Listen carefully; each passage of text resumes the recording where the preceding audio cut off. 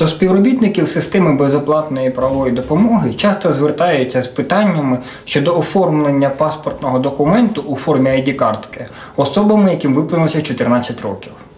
Так, отримання ID-картки особам, яким виповнилося 14 років, є їх обов'язком, і оформлення цього документу здійснюється безкоштовно.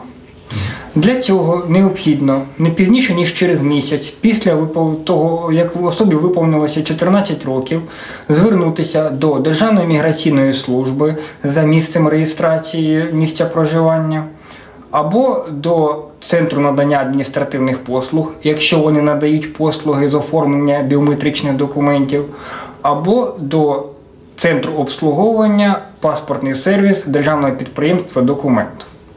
У будь-якому разі для оформлення ID-картки необхідно буде подати наступні документи. По-перше, це свідоцтво про народження дитини. По-друге, це документи, що посвідчують особу батьків або одного із них, які на момент народження набули громадянство України. Крім того, може знадобитися документ, який підтверджує відомості, що будуть внесені до ID-картки і до безконтактного електронного носія. Зокрема, це може бути інформація про місце реєстрації проживання.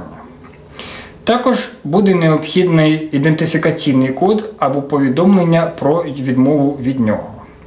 Слід зазначити, що спеціаліст, залежно від статусу особи, яка звернулася за отриманням ID-картки, може вимагати інші документи. Тому перед подачею документів рекомендую звернутися за консультацією. Звертаю увагу, що школярам необхідно подавати копію паспорта разом з документами, необхідними для реєстрації на зовнішнє незалежне оцінювання.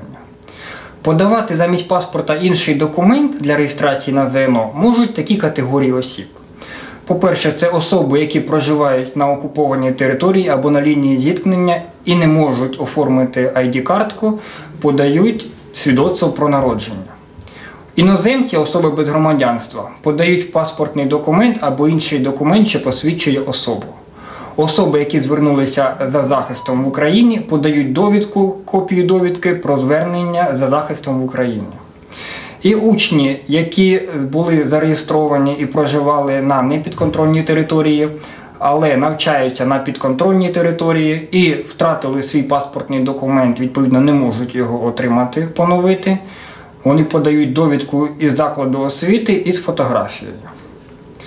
Слід звернути увагу, що будь-які інші особи подають виключно паспортний документ. Крім цього, паспорт знадобиться для допуску до пункту тестування.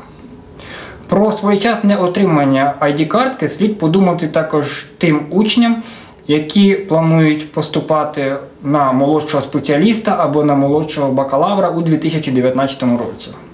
Під час вступу подається документ і копія документу, що посвідчує особу. Одним з таких документів і є паспорт.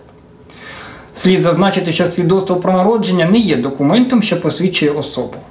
Але особи, яким 14 виповниться після 1 травня 2019 року, поступають на підставі свідоцтва про народження.